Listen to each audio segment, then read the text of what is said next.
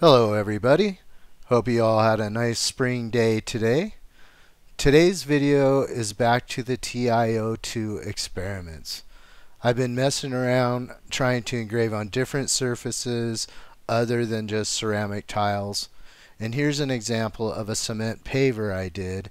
And I also did some random rocks from my garden that I'll show later on in the video. These are all done with this uh, same spray technique that I showed in my stop using paint video. If you haven't seen that, I'll put a link to that video. Except that I've changed the mix a little bit thanks to the suggestion of one of my subscribers. First off, I want to say thanks to Giovanni HH2JG. I hope I got that right that's the subscriber who suggested this mix and once I tried it yes it worked fantastic and really helps extend the life of your spray bottle. The other mix was just too thick and it would clog up and I actually got to the point where I was just like I don't even know if I want to do this anymore. But anyways the mixture is still very simple and works just as good the benefit is, like I said, that this mixture won't clog the sprayer up near as much as the other way. So in a spray bottle that is capable of a fine mist, you will want to add one part of TiO2 to five parts of alcohol. And that's that's it. That's all there is to it. You want to shake it before you spray and, and try to get a good even coat on there. And uh, that's that's all there is to it. Now, to be honest, I did not run a power scale test grid on this beforehand. I thought I had enough practice on some of the other tests I had done that I knew, you know, the ballpark of where it needed to be.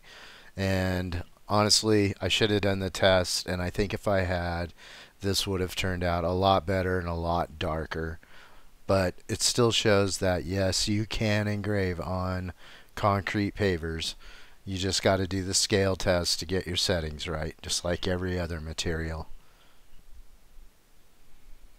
Now the cleanup process couldn't have been easier. Just uh, grabbed the garden hose and gave it a good spray down. Took maybe 30 seconds or so, and that's all it took. And then I let it set out in the sun for about an hour and dry off. You might notice some discoloration on this paver and that has nothing to do with the engraving process or the spraying on of the TiO2. That is because this paver, I literally pulled this out of my garden and it's been sitting out there for, I don't know, at least five years. So it's got like a lot of staining on it. I tried to clean it beforehand. And that's another thing too. I think that if you used a brand new paver, and probably maybe a white one if you could get it or whitish you would get a lot better results.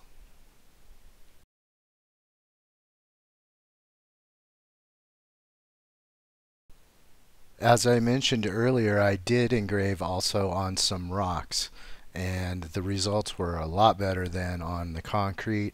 I don't know if it has to do with density but like the concrete has a lot of pores, a very porous and rough surface.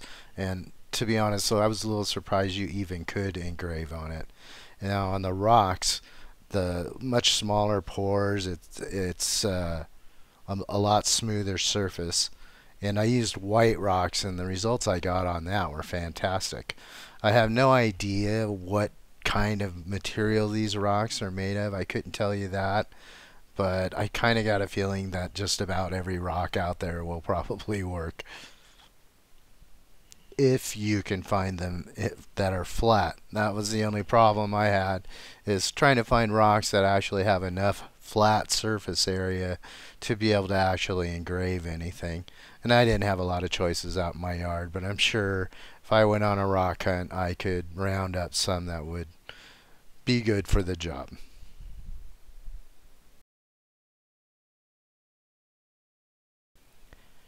And as you can see, I also did some tests on just your regular brick. I don't even know what, what you would call this. Uh, it's just another brick I found in my yard and decided to turn it into a uh, laser engraving experiment.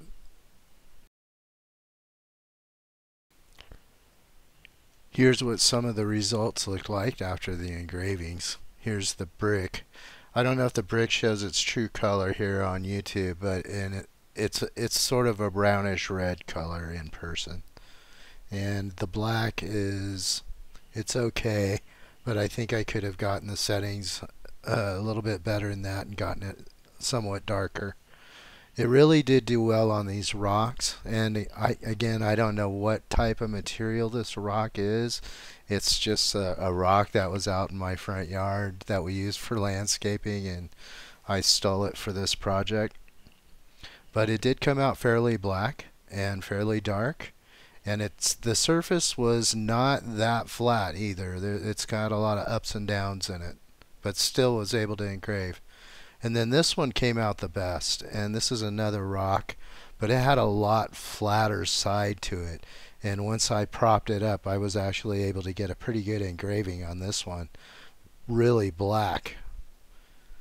And again, the cleanup on all these was the same thing. I just put them in the yard and hosed them off. And that's all it took.